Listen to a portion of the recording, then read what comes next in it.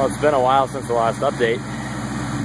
It's March 11th, 2013. I've had the car now for approaching three years. As you know, Whipple was on last year. Nothing here has changed.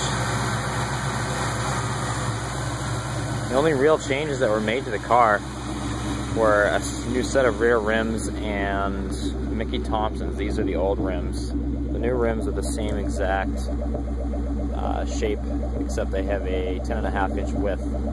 So they accept the larger 315 true to size tire. Um, car is just still uh, waiting to come out. I just did an oil change. The snow is rapidly melting away. So once that is uh, pretty much all gone, she'll be back on the road for sure. But um, just doing a little warm up here. Threw in some nice new oil. Car is running great. Made one pass in the car last year with the new setup. It went, uh, let's see, it went 11.4 at 129, bogging pretty hard out of the hole, cutting over 2060 foot. So uh, this car's got a lot of potential in it. I just haven't been able to get the cage in the car yet and run it hard.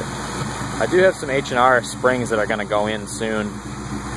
That'll drop it about an inch.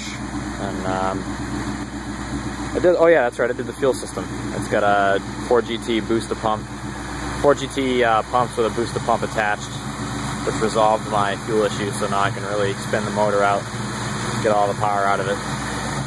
So otherwise, everything is, is good.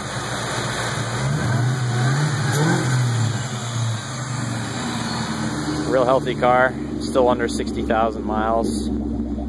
Should look uh, forward to a pretty good season do some E85 hopefully and maybe a little bit more boost. Be looking for probably about 650. Until next time.